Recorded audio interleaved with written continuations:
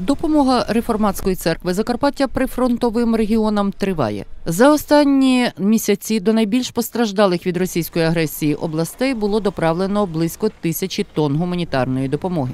Переважно її більшість було доправлено до місць призначення особисто представниками реформатської конфесії. Нещодавно реформатська церква, вчергове об'єднавши зусилля зі своїми партнерами, направила до Харківщини пожежне авто. Це вже восьма така автівка, яку передали на ті території, де рятувальники щодня працюють над ліквідацією наслідків російських обстрілів.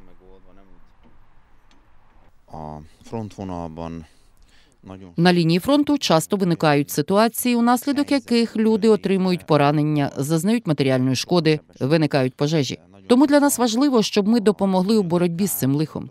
Завдяки співпраці трьох організацій ми змогли відправити це пожежне авто, яке є майже новим.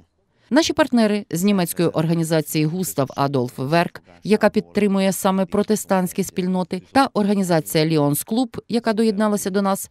Так, у трьох ми змогли придбати це авто та доправити його сюди, до нас. Ми передаємо його до Харківщини, де це авто зможе посилити відчуття безпеки людям та буде допомагати тим, хто опинився в біді. Érzeti tudatát eh, erősíti és segíti a bajba jutott embereket. Разом з пожежною машиною до східної України вчергове вирушив і священник реформатської спільноти села Попово Петро Сегляник, який разом зі своїми товаришами не один раз відвідав прифронтові регіони від Одещини до Чернігівщини.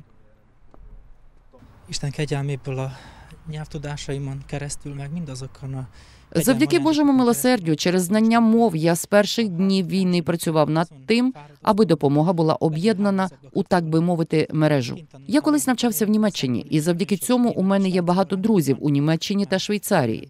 Я відчув, що моя місія об'єднати християнські спільноти. І тих, хто причетний до церкви, і тих, що віддалені від неї. Так стало можливим придбання цього авто. Адже Густав Адольф Верк та Ліонс Клуб об'єдналися із Закарпатською реформатською церквою. Якщо ми об'єднані у мережу, то ми набагато ефективніші. На місці нас чекатимуть представники Євангелістської церкви та представники фонду Даруй добро в Харкові. Ми співпрацюємо з ними з перших днів війни. Спочатку ми передавали допомогу потягом. Потім, коли з'явилася така можливість, ми особисто навідалися до них з допомогою. Це чудовий досвід, що, будучи Божими людьми, ми можемо освічувати темний шлях. Єдність у Христі дарує нам Боже благословення, адже Бог благословляє тих, хто живе в єдності. Mert oda küld áldást az Úr, ahol a testvérek egységben Поряд з тим, що священник доправляє до адресатів допомогу, він ще й проводить богослужіння для місцевого населення, а також для захисників із Закарпаття, угорців та українців, які виконують завдання на Azért фронті. fontos számunkra az, hogy meglegyen a személyes kapcsolat. Для нас важливо підтримувати особисті зв'язки, адже йдеться про дещо більше ніж матеріальна допомога. Це зв'язок між людьми, та місія, яку ми отримали від Бога. Ми маємо нести Боже Слово, і те, що ми веземо особисто допомогу до цих місць, потрібно не для того, аби контролювати її розподіл, а для того, щоб розділити з людьми надію та любов, яку ми отримуємо від Христа. Я дуже вдячний за те, що Бог користується мною. Хоча я не гідний того, щоб служити від його імені, але він дав мені таке благословення. І дуже приємно бачити, коли слово Боже знаходить місце в серцях людей. Це найважливіше. Саме через це ми проповідуємо слово Боже тут, вдома, і там, на фронті. Останнього разу, коли я прямував до прифронтової зони, то мені потрапила частина зі святого письма. Проповідуй Боже Слово у будь-який час. У перші дні війни ми провели богослужіння у домівці однієї вірянки у сім'ї Балух. З того часу ми проводили вже богослужіння у полі, на подвір'ї будинку, інколи у будинку молитви. Там це відбувається не так, як тут, у нас, у мирних умовах, а там і тоді, де і коли для цього відкривається можливість. szépen békés körülmények között ahol lehetőséget kapunk rá.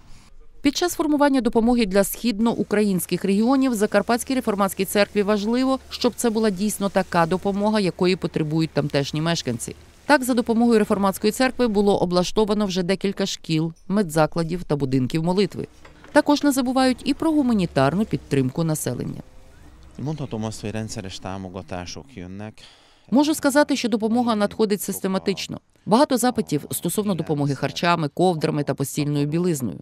Також є потреба в ліках та медзасобах, банально в бинтах. ходулях чи візках. Ми, як Закарпатська реформатська церква, намагаємося допомогти цими засобами. Найближчим часом ми спробуємо допомогти клініці новонароджених через одну з організацій. Це будуть інкубатори та апарати ШВЛ для немовлят.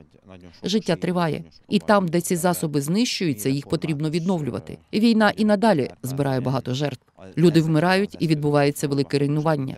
Ми робимо все, що в наших силах, та допомагаємо тим, хто став жертвою чи потрапив у небезпеку. kiszolgáltatott életveszélyes helyzetbe. Пожежне авто теж слугуватиме потребам місцевого населення. Вручення авто попередньо заплановано на п'ятницю. Цього разу з отцем Петром до східної України поїхав і співробітник єпископської канцелярії Закарпатської реформатської церкви Михайло Томенець.